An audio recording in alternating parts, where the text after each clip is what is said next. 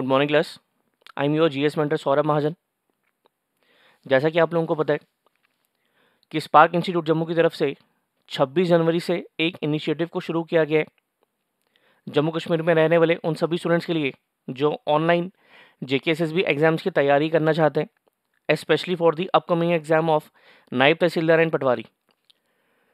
Online batch की जो timing रहेगी it will be from 10 A M to 12 noon already हम लोग इस बारे में बात कर चुके हैं कि वीकली शेड्यूल आप लोगों का क्या रहने वाले डेली दो क्लासेस होंगी और उनकी जो क्लासेस हैं, वो एक एक घंटे की हर एक दिन में अपलोड की जा रही है।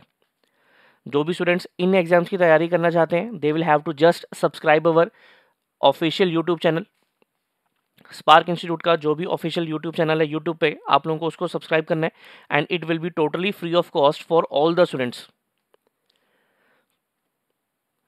this will be the respective faculty who will teach their respective batches uh, and as well as uh, their respective subjects in the uh, batches batch का जो मेजर फोकस रहने वाले वो जे भी रहने वाले लेकिन पर्टिकुलरली इस बैच का जो फोकस रहने वाले वो नायब तहसीलदार और पटवारी के ऊपर रहने वाले further moving next this was the schedule of history हम लोग ऑलरेडी लेक्चर वन में इंदस वैली सिविलाइजेशन के बारे में बात कर चुके हैं। जिन स्टूडेंट्स ने वीडियो नहीं देखी है, वो प्लेलिस्ट में जाकर इसको चेकआउट कर सकते हैं। हम लोग ऑलरेडी वैदिक एज के बारे में बात कर चुके हैं। अगेन आप लोगों को वीडियो प्लेलिस्ट में मिल जाएगी। और आज का जो टॉपिक रहने वाला है it will be very interesting topic it will be very enlightened topic क्योंकि आज हम लोग बात करेंगे बुद्धिज़्म और जैनिज़्म के बारे में। जी हाँ हम लोग आज बौद्ध धर्म और जैन धर्म के बारे में बात करेंगे। आज हम लोग बात करेंगे बौद्ध धर्म के फाउंडर गौतम बुद्ध के बारे में, उनकी लाइफ हिस्ट्री के बारे में बुद्धिज़्म की टीचिंग्स के बारे में हम लोग बात करेंगे। एग्जामिनेशन पॉइंट ऑफ़ व्यू से रेलिवेंट जो भी प्रीवियस ईयर्स में आए हुए क्वेश्चन हैं, उनको साथ साथ में डिस्कस करते हुए हम लोग बुद्धिस्ट काउंसिल्स और same as a case with Jainism में हम लोग life history of Mahavir Jain के बारे में बात करेंगे और जैन काउंसिल्स के बारे में भी बात करेंगे along with some other sub topics also जो भी स्टूडेंट्स मेरे बारे में जानना चाहते हैं, वो इस पर्टिकुलर स्लाइड को पॉज करके देख सकते हैं। So without wasting any time, further moving next. So this is the topic of Buddhism. ये तीन लाइन्स तो आप लोगों ने डेफिनेटली सुनी होंगी सो द लाइन्स आर बुद्धम शरणम गच्छामी which means I go for refuge to the Buddha मैं बुद्ध के पास जाना चाहता हूँ धम्मम शरणम गच्छामी मैं धम्म के पास जाना चाहता हूँ, कहने का मतलब मैं धम्म को फॉलो करना चाहता हूँ। एंड संघम शरणम गच्छामी, मैं संघ को फॉलो करना चाहता हूँ। अब ये धम्म क्या है, संघ क्या है, इनके बारे में हम लोग आगे चलकर बात करते हैं। Further moving next so this is the idol of Gautam Buddha बौद्ध धर्म की अगर हम लोग बात करें, उनके फाउंडर जैसा कि हम लोग सब जानते हैं ही वॉज़ गौतम बुद्ध जिनको हम लोग शाक्य मुनि के नाम से भी जानते हैं, इनको हम लोग तथागत के नाम से भी जानते थे। बुद्ध का लिटरल मीनिंग होता है एनलाइटेड वन ये क्वेश्चन जेके एस में पूछा गया हुआ है। एज वेल एज ये एसएससी में भी पूछा गया हुआ है। इसके अलावा इनका बर्थ इनके बर्थ की अगर हम लोग बात करें, इनका बर्थ नेपाल में हुआ। कब हुआ? पूर्णिमा के दिन में हुआ। जिसको आज के टाइम पे हम लोग बुद्ध पूर्णिमा के नाम से जानते हैं। लगभग अप्रैल मई के मंथ में ये बुद्ध पूर्णिमा सेलिब्रेट की जाती है। पूर्णिमा का लिटल मीनिंग फुल मून ही रहता है, फुल मून डे रहता है, ठीक है, जिस दिन पूरा चाँद होता है।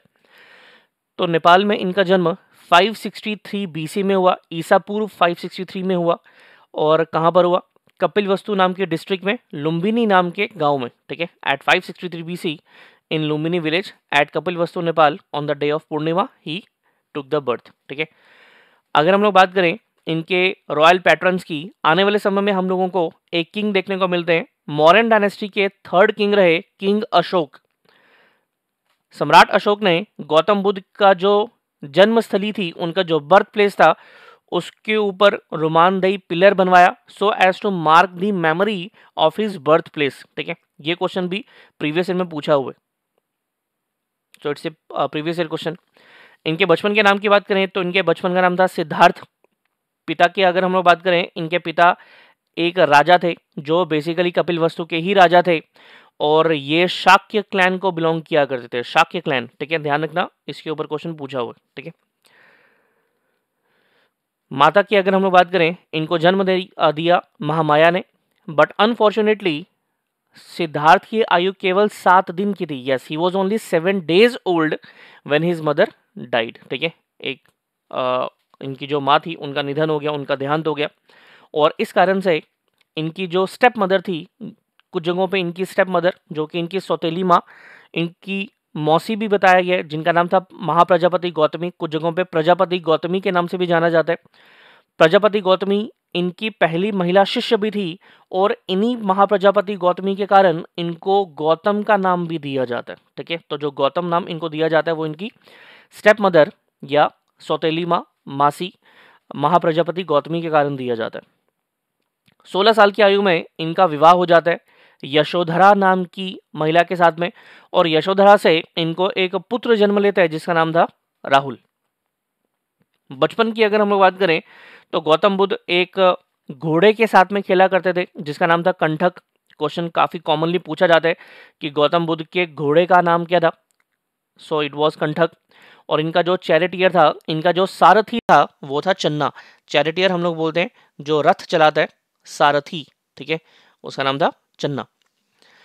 उनतीस साल की उम्र में ये अपना जो राज पैलेस था, जो अपना रॉयल पैलेस था, उसको छोड़ देते हैं, अपने प्रिय घोड़े कंठक के साथ में और जब ये अपना घर छोड़ देते हैं, उस इवेंट को बुद्धिस्ट लिटरेचर्स में महाभिनीश कर्मना के नाम से जाना गया जिसको इंग्लिश मीनिंग रहता है ग्रेट रेनंसिएशन इसको हम लोग ग्रेट गोइंग भी बोलते हैं। तो सवाल ये उठता है कि इन्होंने अपना घर क्यों छोड़ा? तो इसके पीछे हम लोगों को कई सारी स्टोरीज देखने को मिलती हैं। एक बारी अपने सारथी चन्ना के साथ में अपने रथ पे सवार होके जो सिद्धार्थ गौतम थे, वो अपने नगर के भ्रमण पर निकलते हैं। और वो रास्ते में क्या देखते हैं? वो रास्ते में ये देखते हैं कि एक वृद्ध महिला है, जिसकी जो पीठ है, वो झुक चुकी है, ठीक है? उसकी पीठ जो है, वो झुक गई है तो उसको कुब पड़ गया हुआ है और इस कारण से वो अपने सारथी चन्ना को पूछते हैं कि ये इनको क्या हो गए तो वो उनके सारथी चन्ना उनको बताते हैं कि ये इनके कर्मों के फल हैं। जब वो वापस आते हैं, कुछ सोच विचार करते हैं और फिर दोबारा से कुछ समय के बाद में, कुछ दिनों के बाद में जब वो दोबारा नगर के भ्रमण पर निकलते हैं तो दूर से उनको चिल्लाने की आवाज़ आती है। तो जब वो पास में जाते हैं तो वो ये देखते हैं कि एक व्यक्ति के शरीर पर कोड़ पड़ा हुआ है, उसको लेप्रोसी नाम का डिज़ीज़ हो गया, कुष्ठ रोग हो गया उसको। और फिर जब वो अपने सारथी चन्ना को पूछते हैं कि ये इनको क्या हो गया तो सारथी चन्ना का वही जवाब होता है कि ये इनके कर्मों के फल हैं। इनके बाद में जब वो वापस घर आ जाते हैं, कुछ सोच विचार करते हैं और अगेन कुछ दिनों के बाद में जब वो वापस जाते हैं नगर के भ्रमण पर तो उनको देखने को मिलती है एक डेड बॉडी जिसको चार लोग कंधा देकर अंत्येष्टि के लिए लेकर जा रहे होते हैं और फिर वो अपने सारथी चन्ना को पूछते हैं कि ये इनको क्या हो गए तो वो उनको वही जवाब देते हैं कि ये इनके कर्मों के फल हैं, इनकी मृत्यु हो चुकी है। और जब वो वापस घर आते हैं तो उनको कहीं ना कहीं इन चीज़ों का एहसास होने लगता है कि अपने पैलेस में रहकर वो एक रॉयल जो लाइफ है, उसको स्पेंड कर रहे हैं बट बेसिकली लाइफ का जो सच है, वो नहीं जानते इस कारण से वो अपना ग्रह का परित्याग कर देते हैं उनतीस साल की उम्र में। क्लियर है पॉइंट ठीक है? तो उनतीस साल की उम्र में इन्होंने अपना ग्रह का त्याग क्यों किया? एक तो उन सभी इवेंट्स के कारण, और दूसरा, सत्य की खोज के लिए इन्होंने अपना ग्रह त्याग किया। ठीक है? और सत्य की खोज के लिए जब इन्होंने अपना ग्रह त्याग किया तो इनको किसकी ज़रूरत पड़ेगी? इनको ज़रूरत पड़ेगी एक टीचर की, ठीक है? सो इनके गुरु की अगर हम लोग बात करें, इनके दो गुरु रहे, एक जिनका नाम था अलारा कलाम, एक जिनका नाम था उद्रक रामपुत्र। लगभग छह साल डिफरेंट डिफरेंट यू नो जगहों पे रहने के बाद में डिफरेंट डिफरेंट गुरुओं के सानिध्य में रहने के बाद में, इनको 35 साल की उम्र में, क्योंकि उनतीस साल की उम्र में उन्होंने अपना गृह त्याग किया छः साल के बाद में 35 साल की उम्र में गया नाम की जगह में, जो आज के टाइम पे बिहार में जगह on the bank of river Niranjana Niranjana नदी के किनारे पीपल के वृक्ष के नीचे ही अटेंड निर्वाण इनको निर्वाण प्राप्त हुआ, जिसको हम लोग एनलाइटनमेंट भी बोलते हैं, जिसको हम लोग बोलते हैं कि इनको बोध प्राप्त हुआ, ठीक है? इनको बोध प्राप्त हुआ। जब बोध प्राप्त हुआ तो क्या करेंगे?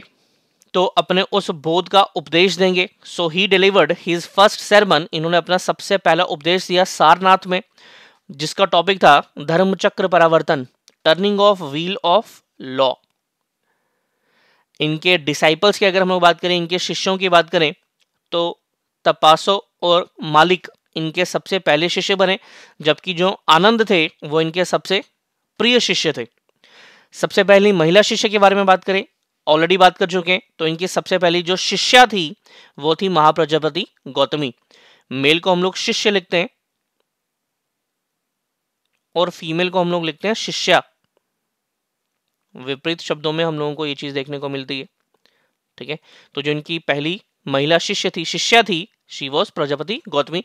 उन्हीं गौतमी के नाम पे इनको कहा जाता है गौतम और बौद्ध होने के कारण इनको कहा जाता है बुद्ध। बुद्ध का मतलब एनलाइटेड वन ऑलरेडी बात की हुई है हम लोगों ने। ठीक है?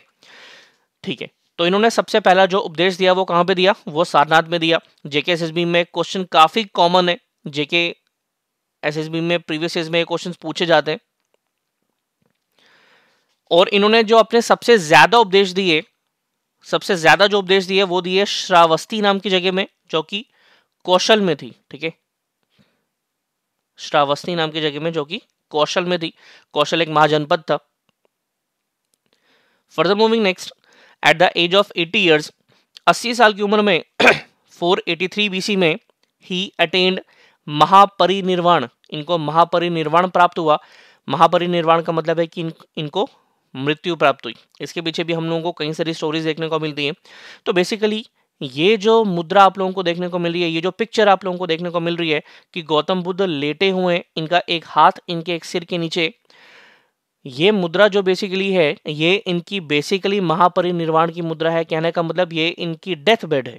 ठीक है? तो ये टेंपल हम लोगों को आज भी देखने को मिलता है कहाँ पे? कुशीनगर जो कि यूपी में है ठीक है? ठीक है moving next so these are the five great events and symbols that are associated with the life history of Gautam Buddha. जन्म की अगर हम लोग बात करें तो गौतम बुद्ध के जन्म के साथ में हम लोगों को तीन इवेंट्स देख आ, तीन सिंबल्स देखने को मिलते हैं। One was elephant one was lotus and one was bull now question comes कि ये सिंबल्स उनके जन्म के साथ में आधारित क्यों है? यहाँ पे हम लोग को एक चीज़ देखने को मिलती है कि जब इनका जन्म हुआ, कब हुआ? पूर्णिमा के दिन हुआ, जिसको हम लोग आज के टाइम पे बुद्ध पूर्णिमा के रूप में सेलिब्रेट करते हैं। तो जब इनका जन्म हुआ तो जन्म से एक रात पहले इनकी जो माँ थी, जिन्होंने इनको जन्म दिया, महामाया महामाया को एक स्वप्न आता है, उनको एक ड्रीम आता है कि एक हाथी ने अपनी सूंड में एक लोटस का फूल पकड़ा हुआ है, एक कमल का फूल पकड़ा हुआ है। और इस कारण से एलिफेंट और लोटस जो है, ये सिंबल जिनके बर्थ के साथ में एसोसिएटेड है along with bull also Mahabhinishkraman की अगर हम लोग बात करें, जब इन्होंने अपना ग्रेट रेनेंसेशन किया, जब इन्होंने अपना ग्रह का परित्याग किया तो उसके साथ में जो एसोसिएटेड सिंबल है, वो है हॉर्स क्यों? क्योंकि उन्होंने अपने घोड़े के साथ में ही अपना ग्रह त्याग किया। निर्वाण की अगर हम लोग बात करें तो बोधि ट्री इसके साथ में एसोसिएटेड है। बोधि ट्री कौन सा ट्री है? इसके ऊपर क्वेश्चन पूछा हुआ है। ठीक है? तो बोधि ट्री पीपल का वृक्ष है। धर्म चक्र परिवर्तन की अगर हम लोग बात करें turning of wheel of law symbol is wheel और डेथ महापरिनिर्वाण की अगर हम लोग बात करें, यहाँ पे हम लोग को दो सिंबल देखने को मिलते हैं one is foot prints and one is stupa ध्यान रखना, ये जो वर्ड है, ये स्तूप होता है, ये स्तूपा नहीं होता, ठीक है? दिस इज़ स्तूप ठीक है। So this is Mahabodhi temple ठीक है? ये महाबोधि टेंपल है बिहार में, जहाँ पे गौतम बुद्ध को बौद्ध प्राप्त हुआ, ठीक है? This is the Mahabodhi temple and this is that banyan tree sorry peepal tree people का वृक्ष है एंड इट इज़ एज्यूम्ड कि ये पीपल का वृक्ष, उस पीपल के वृक्ष जिसके नीचे गौतम बुद्ध को निर्वाण प्राप्त हुआ था, उसकी पांचवी पीढ़ी है। आप लोगों को पिक्चर के बैक साइड में ये महाबोधि टेंपल दिखाई दे रहा होगा, ठीक है? यही टेंपल है। इस टेंपल के बैक साइड में ये पीपल का वृक्ष है। और ये this is Sanchi stupa which is the very famous stupa in MP Madhya Pradesh में ये स्तूप है।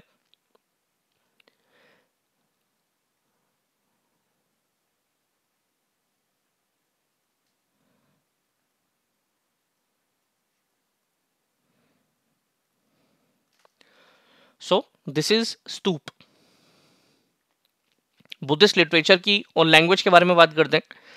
सी वैदिक एज में हम लोगों ने हिंदुज्म के लोग को लेकर कुछ लिटरेचर्स के बारे में बात की। बेसिकली वो हिंदुज़म के लिटरेचर्स नहीं है, वो बेसिकली इंडिया के लिटरेचर्स हैं, ठीक है? जैसा कि हम लोग जानते हैं कि that Hinduism is not a religion it is just a way of living better life ठीक है? बुद्धिस्ट लिटरेचर्स की अगर हम लोग बात करें, इनको हम लोग त्रिपिटक के नाम से जानते हैं। और इस वर्ड पिटक का मतलब होता है इसको पिटाका के नाम से भी जानते हैं। इसका मतलब होता है बास्केट। तो इसको हम लोग पिटक क्यों बोलते हैं? क्योंकि पुराने समय में जो लिखने का लिटरेचर था, वो तार के पत्रों के ऊपर लिखा जाता था, वो लीव्स के ऊपर लिखा जाता था और उन लीव्स को बास्केट में डाला जाता था। इस कारण से इसको कहा जाता है पिटक या पिटाका। और ये कितने हैं कुल मिलाकर? ये तीन हैं, विनय पिटक, सूत पिटक और अभिधम पिटक।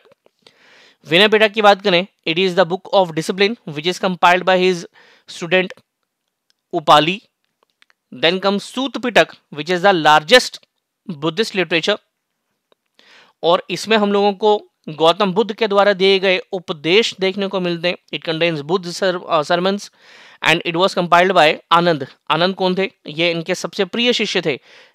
His favourite pupil then comes Abhidhamma Pitaka Abhidhamma Pitaka में हम लोगों को कुछ फिलोसॉफिकल प्रिंसिपल्स देखने को मिलते हैं और इसको कंपाइल किया गया मोगलीपुत्र तिस्या के द्वारा, ठीक है? एक ही पर्सन का नाम है मोगलीपुत्र तिस्या। इसके अलावा हम लोगों को एक लिटरेचर और देखने को मिलता है नंबर ऑफ़ जातक। तो जातक की संख्या है 547 प्रीवियस ईयर में काफ़ी बार ये क्वेश्चन काफ़ी कॉमनली पूछा जाता है, ठीक है? अप्रोक्सीमेटली 550 भी इसको लिखते हैं। अप्रोक्सीमेटली 550 ठीक है? और किस लैंग्वेज में ये लिटरेचर्स लिखे गए? ये पाली लैंग्वेज में लिखे गए। अगर हम लोग वेद्स की बात करें, अगर हम लोग उपनिषद की बात करें, पुराणों की बात करें तो वो किसमें लिखे गए? वो संस्कृत लैंग्वेज में लिखे गए थे। So moving next so this is the very important slide Buddhist councils को लेकर ये बात कर रही है और यहाँ से हम लोगों को बहुत बारी बहुत से क्वेश्चंस देखने को मिलते हैं। कुल मिलाकर हम लोगों को चार बुद्धिस्ट काउंसिल्स देखने को मिलते हैं जो एग्जामिनेशन पॉइंट ऑफ़ व्यू से बहुत ज़्यादा रेलिवेंट है। सबसे पहली हुई 483 बीसी में। ध्यान रखना 483 बीसी ईयर इंपॉर्टेंट है। रीजन बिंग ये वही साल था जब गौतम बुद्ध को महापरिनिर्वाण प्राप्त हुआ। कहने का मतलब उनकी डेथ हुई, ठीक है? तो उसी साल में हम लोगों को सबसे पहली बुद्धिस्ट काउंसिल देखने को मिलती है। जगह थी राजगीर। ये जगह बिहार में, इसको गरीवीराज के नाम से भी जाना जाता है। और किस किंग के अंडर में हुई? अजात शत्रु नाम का किंग था। जो कि हरियंका डायनेस्टी के किंग थे, उनके अंडर में पहली बुद्धिस्ट काउंसिल हुई और इसको लीड करने वाले लीडर का नाम था महक कसप्पा रिजल्ट्स की अगर हम लोग बात करें, पहली बुद्धिस्ट काउंसिल में हम लोगों को विनय पिटक और सूद पिटक की कंपाइलेशन देखने को मिलती है। सेकंड बुद्धिस्ट काउंसिल की बात करें तो इसके ठीक सौ साल के बाद में हुई तो इसके ठीक सौ साल के बाद में ईयर कौन सा बन जाएगा? 383 ध्यान रखना 483 बीसी के 100 साल के बाद में year will be 383 BC not 583 BC ठीक है? सो जगह इट वाज वैशाली। वैशाली नाम की जगह भी बिहार में ही है। और किंग का नाम था काल अशोक। इसको काकवर्ण के नाम से भी जानते हैं। और ये नाग डायनेस्टी के किंग थे। इसको शिशुनाग डायनेस्टी भी कहा जाता है। आगे चलकर हम लोग बात करेंगे इसके बारे में। हरियंका डायनेस्टी कौन थी? नाग डायनेस्टी कौन सी थी? मौर्यंस कौन आ, कौन लोग थे? कुशांस कौन लोग थे? इन सब के बारे में आगे चलकर बात करेंगे। इस सेकेंड बुद्धिस्ट काउंसिल को लीड किया सेबक आमी ने। और इसमें हम लोगों को रिजल्ट्स में देखने को मिलते हैं। That Buddhism got divided into Sthavira and Mahasanghika third Buddhist council की अगर हम लोग बात करें it took place under the Mauryan king Ashoka Mauryan king Ashoka was a very famous royal pattern of Buddhism तो 250 बीसी में king Ashok के अंतर्गत में पाटलिपुत्र, बिहार में ये थर्ड बुद्धिस्ट काउंसिल होती है और इसको लीड किया जाता है मोगलीपुत्र तिस्या के द्वारा, जिसने थर्ड पिटक, अभिधम पिटक को भी कंपाइल किया था। हम लोगों ने अभी बात की है इसके बारे में, ठीक है? Third Pitaka, Abhidhamma Pitaka was compiled by Moggaliputta Tissa. So in 72 AD ठीक है? अब ये एडी की शुरुआत हो चुकी हुई है। फ़र्स्ट सेंचुरी एडी भी इसको कुछ जगहों पे लिखा जाता है। First century AD Kashmir most importantly Kashmir Kundalvan में ये फोर्थ बुद्धिस्ट काउंसिल हुई।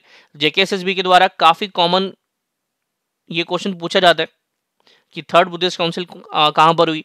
कश्मीर में हुई। थर्ड बुद्धिस्ट काउंसिल के किंग कौन थे? कनिष्क थे, जो कि कुशान डायनेस्टी के किंग थे। और इसके लीडर्स में हम लोगों को प्रेसिडेंट देखने को मिलते हैं या लीडर देखने को मिलते हैं वासुमित्र। और जो इसके वाइस लीडर थे वाइस प्रेसिडेंट थे, वो थे अश्वघोष।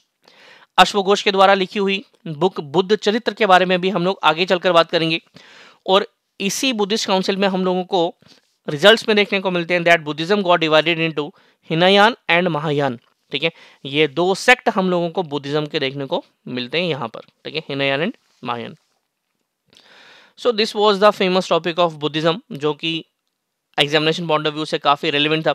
और बहुत से क्वेश्चन हम लोगों ने साथ साथ में डिस्कस किए जो कि प्रीवियस में जनरली पूछे गए थे।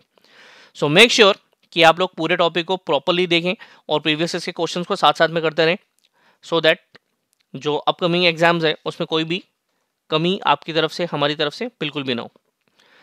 अगर आप लोगों को कोई भी डाउट्स होते हैं टॉपिक के रिगार्डिंग किसी भी चीज़ के regarding do comments below we will definitely respond to them so, further moving next, this is the map of, this is the political map of india around 500 bc 500 शताब्दी ईसा पूर्व का ये भारत का मैप है, जहाँ पे हम लोगों को कई सारे महाजनपद देखने को मिल रहे हैं, कुछ जनपद भी देखने को मिल रहे हैं। ऑलरेडी इस मैप को हम लोगों ने लास्ट जो हम लोगों ने लेक्चर डिस्कस किया था वैदिक एज का, वहाँ पे भी डिस्कस किया था, यहाँ पे हम लोगों को कुरु महाजनपद देखने को मिल रहा है, जिसकी कैपिटल थी इंद्रप्रस्थ। पांचाल देखने को मिल रहा है, जिसकी कैपिटल थी अहिचत्र। कौशल देखने को मिलता है, श्रावस्ती, अयोध्या, इसी कैपिटल थी। मल्ल देखने को मिलता है, जिसकी कैपिटल थी कुशीनगर। मगध देखने को मिलता है, जिसकी कैपिटल थी वज्र राजगृह, ठीक है? अवंती देखने को मिलता है, जिसकी कैपिटल थी उज्जैनी या माहिष्मती, ठीक है? डिफरेंट डिफरेंट टाइम पीरियड में डिफरेंट डिफरेंट रही।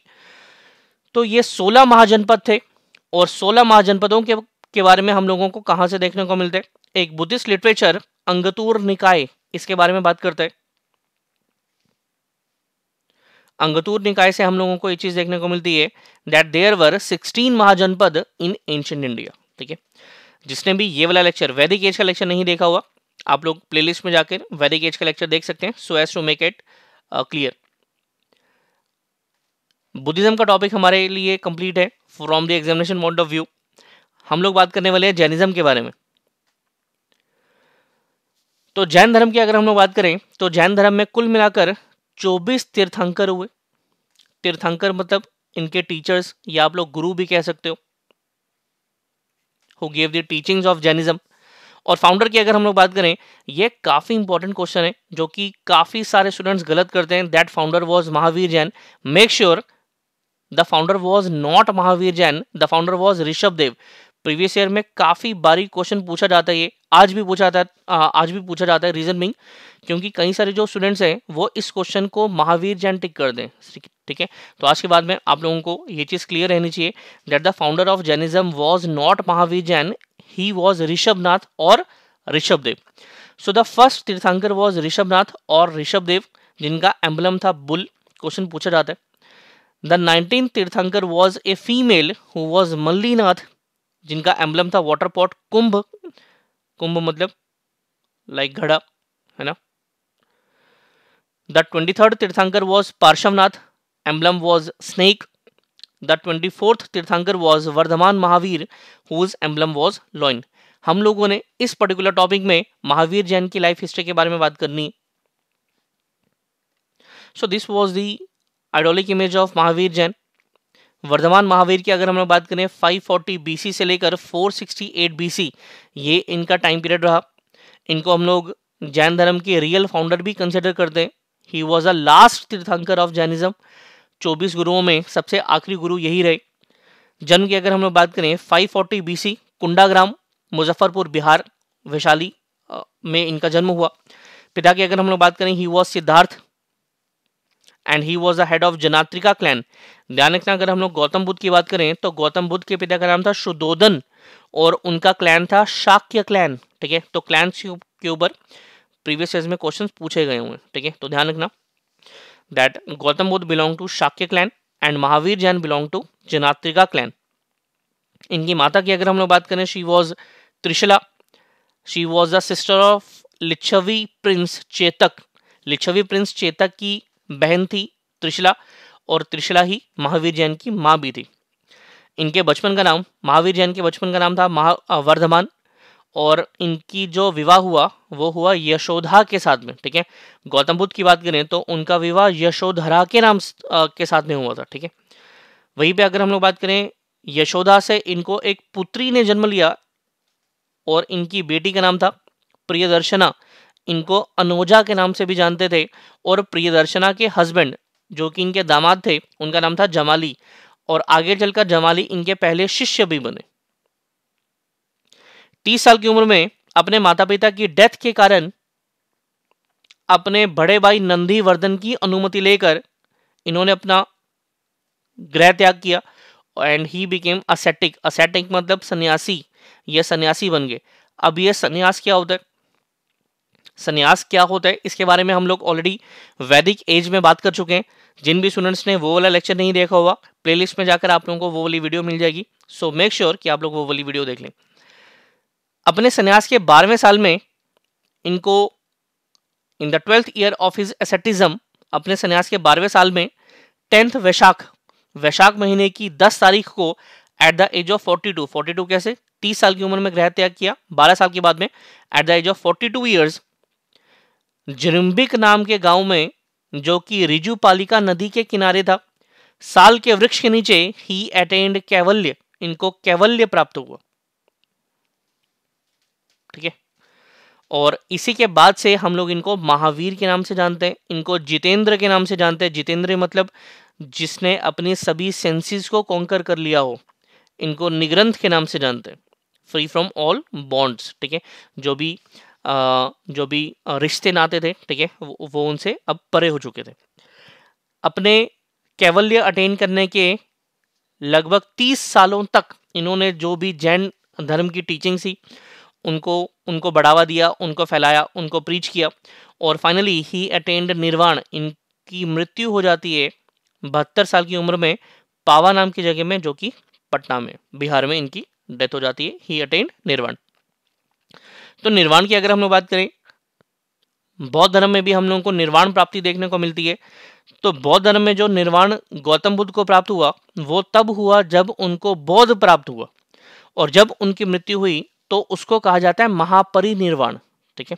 तो ध्यान रखना, आप लोग डिफरेंस भी चेकआउट कर सकते हो, आप लोग कंपेयर कर सकते हो कंपेरेटिव स्टडी कर सकते हो तो इजीली ये चीज़ें रिकॉल रहती हैं। प्रीवियस ईयर्स में आए हुए कई सारे क्वेश्चंस इन्हीं टॉपिक्स में से रहते हैं। Further moving next so these are the five noble truths five noble truths में हम लोगों को देखने को मिलते हैं। सत्य, अस्तेय, अहिंसा, अपारिग्रह, ब्रह्मचार्य। सत्य मतलब ट्रुथ अस्तेय मतलब डू नॉट स्टील अहिंसा मतलब नॉन वॉलेंस अपारिग्रह अपारिग्रह का मतलब होता है do not acquire property property acquire ना करना। और ब्रह्मचार्य का मतलब था ऑब्ज़र्व सेलिब्रेसी अब ब्रह्मचार्य क्या था? ब्रह्मचार्य के बारे में भी हम लोग लास्ट लेक्चर में वैदिक एज के लेक्चर में ऑलरेडी बात कर चुके हैं। मेक श्योर sure, अगर आप लोगों ने वो लेक्चर नहीं देखा हुआ तो आप लोग वो वाला लेक्चर एक बार देख लें ताकि आप लोगों को ब्रह्मचार्य क्या है संन्यास क्या है इन सब की क्लैरिटी रहे। प्रीवियस ईयर में एक क्वेश्चन काफ़ी कॉमनली पूछा जाता है कि इनमें से कौन सा नोबल ट्रुथ महावीर जैन महावीर जैन के द्वारा ऐड किया गया था? So it was Brahmacharya. Now question comes कि सर फिर बाकी वाले जो नोबल ट्रुथ से वो किसने दिए? तो ध्यान रखना, ये जो बाकी के नोबल ट्रुथ्स हैं, ये इनके ट्वेंटी थर्ड तीर्थंकर, ये इनके ट्वेंटी थर्ड तीर्थंकर पार्श्वनाथ के द्वारा दिए गए थे, ठीक है? और ट्वेंटी फोर्थ तीर्थंकर महावीर जैन के द्वारा दिया गया ब्रह्मचार्य। क्लियर है? त्रिरत्न सो so, अभी हम लोग जिस बारे में बात करें this is the philosophy of Jainism Triratna हम लोगों को देखने को मिलते हैं सम्यक ज्ञान सम्यक आचरण और सम्यक दर्शन। Right knowledge right action right faith then comes the Jain literature the oldest Jain literatures were Purva जो पुराने जैन लिटरेचर्स है उनको पूर्व कहा जाता है। और पूर्व की जो संख्या थी वो थी चौदह। आगे चलकर हम लोगों को इन पूर्व की कंपाइलेशन देखने को मिलती है। इन अंग और अगम। अंग या अगम की जो संख्या थी, वो थी बारह। और इनको कंपाइल किया गया प्रकृत लैंग्वेज में। ध्यान रखना, अभी हम लोगों ने बात की कि बौद्ध जो धर्म था, उसके जो लिटरेचर है उनको पाली लैंग्वेज में कंपाइल किया गया था। तो बौद्ध धर्म की लैंग्वेज क्या रही? पाली। वहीं पे जैन धर्म की लैंग्वेज क्या रही? प्रकृत लैंग्वेज रही। सिक्स सेंचुरी बीसी में अप्रोक्सीमेटली ये दोनों आइडियोलॉजिकल फिलोसफीज का हम लोग को जन्म देखने को मिलता है भारत में। Two sects of Jainism Jain धर्म के दो sect one was Digambar and one was Shvetambar. Digambars की अगर हम लोग बात करें, दिगंबर्स को हम लोग see Digambar stand for dig and ambar. दिग का मतलब होता है स्काई अंबर। अंबर हिंदी का शब्द वस्त्र। वस्त्र का एक पर्यायवाची शब्द है अंबर। मतलब कि क्लोथ्स ठीक है? तो क्लैडिंग है ना? तो दिगंबर का लिटल मीनिंग बन जाता है स्काई क्लैड या इसको नेक्ड भी लिखते हैं। वहीं पे अगर हम लोग बात करें श्वेतंबर की तो श्वेत मतलब वाइट और अंबर मतलब क्लैडिंग ठीक है? तो श्वेतंबर का लिटल मीनिंग होता है वाइट क्लैड आप लोगों को ये चीज़ पता होगी कि जैन धर्म में हम लोगों को दो सन्यासियों के दो सन्यासी बेसिकली देखने को मिलते हैं। एक वो लोग जो पूरी तरह से नग्नावस्था में रहते हैं नेक्ड अवस्था में रहते हैं। और एक वो लोग जिन्होंने जिन्होंने वाइट कलर के कपड़े पहने होते हैं और आज के टाइम पे हम लोग मास्क का इस्तेमाल करते हैं। आप लोगों ने कभी भी टीवी पे देखा होगा, जैन धर्म के वो लोग जो श्वेतंबर होते हैं, वो अपने मुँह के आगे वाइट कलर का मास्क लगा के रखते हैं। ध्यान ध्यान देना बुद्धिज़्म और जैनिज़्म ये दोनों जो आइडियोलॉजीज़ हैं इनका एक बहुत ही ज़्यादा प्रोमिनेंट जो फोकस रहता है जो आ, जो चीज़ रहती है जिसको ये लोग बहुत ज़्यादा फॉलो करते हैं वो अहिंसा है ठीक है? नॉन वोलेंस है।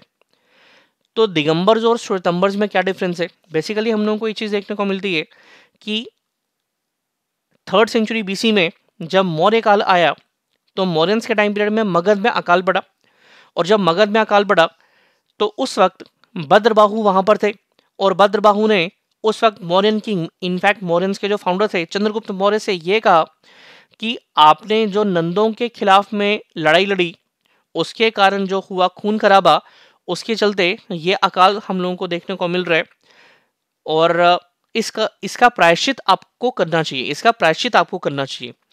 तो अल्टीमेटली क्या होता है? जो चंद्रगुप्त मौर्य होते हैं, वो जैन धर्म को फॉलो कर दें, वो जैन धर्म को अपना लेते हैं हम लोग आगे चलकर भी इसके बारे में बात करेंगे दैट ही अडॉप्टेड जैनिज्म वहीं पे अगर हम लोग उनके ग्रैंडसन अशोक की बात करें तो अशोक अडॉप्टेड बुद्धिज्म। तो जो चंद्रगुप्त मौर्य थे, उन्होंने जैन धर्म की दीक्षा ले ली भद्रबाहु से, और वो दक्षिण भारत की ओर चले गए, और दक्षिण भारत में ही उनको उनकी मृत्यु भी हुई थी। वहीं पे अगर हम लोग बात करें श्वेतंबर की तो श्वेतंबर वो लोग थे जो कि उस अकाल के टाइम पे उत्तर भारत की तरफ़ पे चले गए। उत्तर भारत, मगध से उत्तर की तरफ़ पे था नेपाल, जहाँ पे हम लोगों को आज भी हिमालय देखने को मिलते हैं। और नग्नावस्था वहाँ पे फॉलो कर पाना ऑलमोस्ट इम्पॉसिबल था। इस कारण से उन लोगों ने अपने पूरे जीवन केवल वाइट कपड़े ही पहनने का निश्चय किया था। उनको कहा जाता है Shvetambar. So Digambar sect was started by Bhadrabahu. And Shvetambar sect was founded by Sthula Bahu इनको हम लोग स्थूल भद्र के नाम से भी जानते हैं। Then comes the Jain councils जैसा कि हम लोगों ने बुद्धिस्ट काउंसिल्स के बारे में बात की, यहाँ पे हम लोगों को जैन काउंसिल्स देखने को मिलती हैं। बुद्धिस्ट काउंसिल्स हम लोगों को चार देखने को मिलती हैं। जैन काउंसिल्स हम लोगों को केवल दो ही देखने को मिलती हैं। सबसे पहली जो जैन काउंसिल हुई, वो तीसरी शताब्दी ईसा पूर्व में हुई थर्ड सेंचुरी बीसी में हुई। जगह थी पाटलिपुत्र जो कि बिहार में थी और लीडर थे इसके स्थूलभद्र यहाँ पे हम लोगों को देखने को मिलते हैं रिजल्ट्स में compilation of twelve Anga to replace fourteen Purva. जैसा कि हम लोगों ने अभी बात की थी कि जो चौदह पूर्व थे, वो इनके पुराने टेक्स्ट थे, जो जो इनके पुराने लिटरेचर से उनको पूर्व कहा जाता था। तो इन पूर्व को रिप्लेस किया गया कंपाइल किया गया बारह अंग में। इनके लिटरेचर को हम लोग अंग के नाम से जानते हैं। Second Buddhist council second Jain council जो कि फिफ्थ सेंचुरी एडी में हुई, पांचवी शताब्दी ईस्वी में हुई वल्लभी नाम की जगह में क्वेश्चन ये प्रीवियस ईयर में पूछा हुआ है कि वल्लभी नाम की जगह कहाँ पर है? तो वल्लभी नाम की जगह गुजरात में। लीडर का नाम था देवरिद्धि गानी और यहाँ पे हम लोगों को देखने को मिलती है final compilation of twelve Anga and twelve upa Anga. So these were the result of Jain councils question आप लोगों को कैसे पूछा जा सकता है? ध्यान दीजिए। क्वेश्चन आप लोगों को यह पूछा जा सकता है when did the first Jain council took place? तो ऑप्शन में दे देगा third century BC fifth century AD third century AD fifth century BC तो answer will be third century BC question पूछा जा सकता है the first Buddhist council took place at फिर ऑप्शन में मिल जाएगा पाटलिपुत्र, वल्लभी राजगृह, ठीक है, या वैशाली तो answer will be Pataliputra.